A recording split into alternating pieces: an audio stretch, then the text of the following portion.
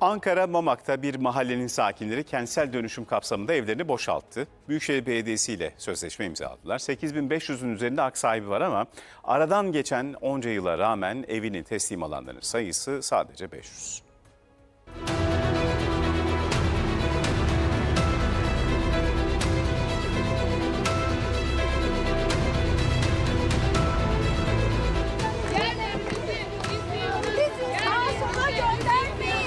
İsyanın nedeni kendi evlerinde oturacakken Ankara Büyükşehir Belediyesi yüzünden kiraya mahkum olmaları. Ankara'da bir tane borcumuz olana hak sahibi kalmayacak. Ankara Büyükşehir Belediye Başkanı Mansur Yavaş böyle demişti ama o sözünü çabuk unuttu. Evlerine kavuşma hayaliyle kapısını çalan mağdurlara sırtını döndü. Hem de SGK'ya borcumuz var gerekçesiyle. Bizi sürekli bütçemiz yok, projelerimiz hazır değil bahaneleriyle kandırmış bulunmaktadırlar. Nereye gitsek üstümüze kapılar böyle e, kapanıyor. Yeter artık. Sayın Mansur Başkan ve ekibi kapalı kapılar ardında insanlara bir bilgi dahi vermeden ata topraklarımıza peşkeş çekmektedir. Mamak Küçükkayaş mahallesinde başlayan kentsel dönüşüm projesi kapsamında 8500'den fazla hak sahibi Ankara Büyükşehir Belediyesi ile sözleşme imzaladı imzalamasına. Ama Ata topraklarımız yıllardır hayaliyle yanıp tutuştuğumuz arsalarımız başkalarına peşkeş çekiliyor. Benim projem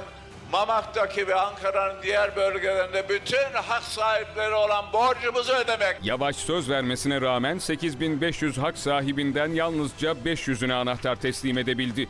Binlerce mağdur umutla beklerken belediyenin SGK'ya olan vergi borçları karşılığında kentsel dönüşüm arsalarının verileceği iddialarıyla neye uğradıklarını şaşırdılar. Biz sabırla bekledik. Dediğim gibi ata topraklarımız bizim oralar. Son günlerde konserlere milyonlarca lira bütçe ayırmasıyla gündeme gelen Büyükşehir Belediyesi'nin kentsel dönüşüm mağdurlarına ise bütçe yok açıklaması yapması mağdurların sabrını taşıran son damla oldu. On binlerce mağduru yok sayan bir belediye başkanına buradan sesleniyoruz.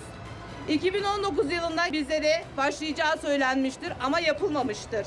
Sayın Mansur Yavaş ve ekibinin konser organizasyonlara milyonlarca bütçe ayırdığını şaşkınlıkla izlemekteyiz.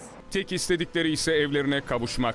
Biz yerimizi istiyoruz. Başka bir şey istemiyoruz. Ev kira yardımını istemiyoruz ya. Biz evimizi istiyoruz artık. Cumhurbaşkanından tek istediğim şu. Bizi belediyelere muhtaç ettirmeden şu evlerimizi yapsın.